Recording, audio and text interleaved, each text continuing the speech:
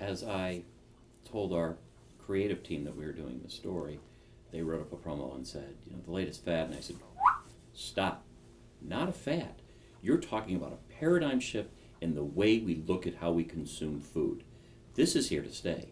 This is not, and no disrespect to any diet, so I won't mention any by names. It's not a fad.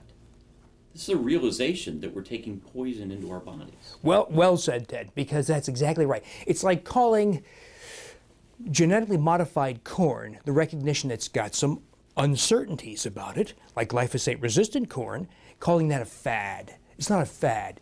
It's, a, it's necessary now for you and me to no longer just talk about, for nutrition, protein, calories, fats, and those kinds of things. We need to also be aware of what agribusiness has been doing to our food. So if we're going to talk about corn, we've got to talk now about glyphosate resistant corn and other forms of genetically modified corn. If we talk about wheat, we've got to talk about what agribusiness did 30 or 40 years ago to increase yield and generate all these inadvertent changes in the crop. Again, well intentioned. Well intentioned, yes. Okay. You've made the sale scientifically. So now I'm on board. But I say to you, Doctor, I live in Milwaukee. I love my beer. I love my fish fries. I love my bread. I love my pizza. It's one thing to say, take the wheat out of your diet. It's Girl Scout cookie time, Doctor. Do you know how many Thin Mints I've had to give away at work because the number one ingredient is wheat? I'm trying here. I'm on board. I'm a disciple. But it's hard to do. How do we do it? And you mentioned in your book, you have to radically transform. You have to go through your cupboards. I did that last week, by the way. It was very sad to throw out all my Raisin Bran and to throw out all my Wheaties and to throw out all my Golden Grahams. I love all those things. But you have to do it. How do we make that transformation? That's what people want to know.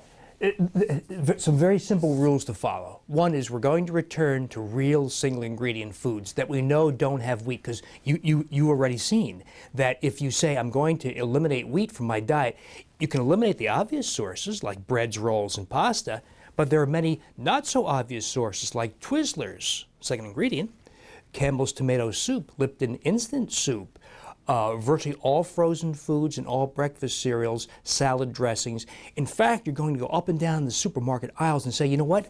I can barely find any processed food that does not have wheat in it. By the way, that's a question all of its own. Why is it there? Is it there for appetite stimulation?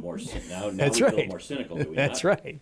But so we have to get rid of all those processed food or most processed foods. So we're going to return to the safety of single, of real single ingredient food. So we know, for instance, that lamb chops don't have wheat. We know that cucumbers and tomatoes and lettuce don't have wheat. So we're going to return to real single ingredient foods. And by the way, a corollary to uh, rejecting the whole notion of more healthy whole grains is to reject the notion of cutting our fat and saturated fat, which, by the way, is yet another big mistake made in nutrition. So we're going to eat chicken. We're going to have the skin and the dark meat, I'm going to boil the bones for soup. I'm not going to skim off that fat. I'm going to have it.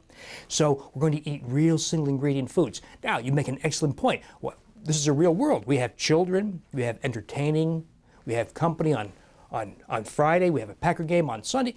How can I serve cheesecake, muffins, cookies, pizza, and those kinds of fun things, minus wheat and other unhealthy ingredients, and by the, by the way, minus all the gluten-free ingredients too? That's a whole other mistake.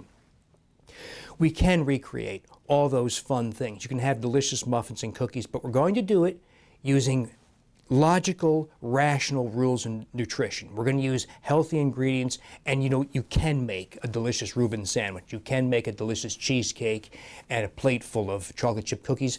At present, you and I have to make it ourselves or ask someone to do it for us because we can't buy these things. The food industry is only beginning to catch on. They call me so I know this for a fact that they're going to try to develop these things. If there's a market, they're going to try to serve it. But right now, you and I have to make it ourselves. Well, we do see products that are gluten-free. Stores have gluten-free aisles, gluten-free uh, counters. We're trying. I'm now buying Rice Krispies that are gluten-free. Am I still failing? You wince. Uh, so we don't want to replace a problem, wheat, and thereby the gluten protein in wheat, with another problem. In this case, the processed food industry has stepped to the fore and said, we're going to use cornstarch, rice starch, tapioca starch, or potato starch. So dried pulverized starches, Ted, when you dry them, pulverize them down to that fine uh, a granular form, you increase the surface area for digestion of the starch exponentially. You get sky-high blood sugars, sufficient to add to risk for hypertension, heart disease, um, diabetes, visceral fat accumulation, dementia, and cancer. So we don't want to take a Back where- problem. Back to where you started. So we're back to almost, almost as bad as wheat minus some of the other components. So that's why I say the gluten-free uh, solution is not a solution, it's a mistake. So the recipes I have, the way I craft food, is indeed gluten-free, but we're not going to use junk carbohydrate replacement ingredients.